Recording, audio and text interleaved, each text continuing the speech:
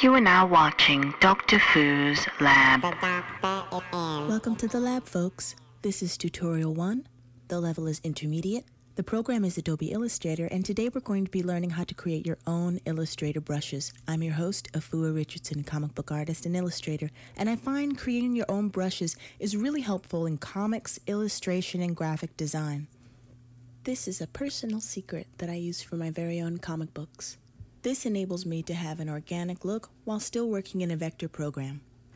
Alright, let's get started. Make sure your toolbar is visible. If you don't see it, go to Window and select Tools. Mine's already selected over here on the left side, so let's get started. First, we're going to create the shape of our brush and the color. To select the color, go to your fill or press X if you're on a Mac as a shortcut. Double click that and you'll see your options. I usually like to use black when creating a brush. Press OK. Now on your toolbar, select the pen tool or press P. Now bring your cursor over to the middle of your artboard and click. Now while pressing shift, you can drag your cursor horizontally on another point on the screen and that will create a straight line, like so. Without lifting your pen, pull and drag the edge of your line so that anchor points appear. You'll start to create an arc. The lower you pull, the higher the angle of your arc will be. In the center of that line is the edge of your object.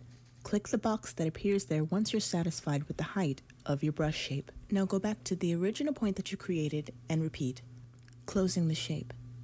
Now go to your selection tool or press V. You'll know your object is selected when you see the box appear around it. Grab the corners and start to push and pull until you're happy with the shape. But me personally, I like to have my brushes skinny. If you'd like to, grab a corner and drag while pressing shift to scale the size of your brush. Now while this is selected, on your right hand side, go to brushes and press the downward facing arrow to expand the menu. Now select new brush. We're going to create a new art brush. Press OK. Now our options come up. I'm going to rename my brush something memorable. Foo Ink number one. The direction default is from left to right. You can choose right to left, up or down, but for right now, we'll just use left to right. The colorization method we'll use is tints. This enables you to change the color of the brush, which is really handy later. Press OK. Now over here on the right side, your brush should appear at the bottom. To select your brush, simply click on it, and whatever object is selected will have the stroke applied. It's really important to save your brushes. At the bottom of your brush tab, go over to Brush Libraries menu and select Save Brush Libraries. Here you can name your brush library so you can access it later. I've named mine Afua's Arsenal. Press Save. To load your library later, go to Brushes, expand the menu, then scroll down to Open Brush Libraries. Go to User Defined, and you should see your library appear right in the menu. Alright, so let's test this out. On your toolbar, select your brush tool.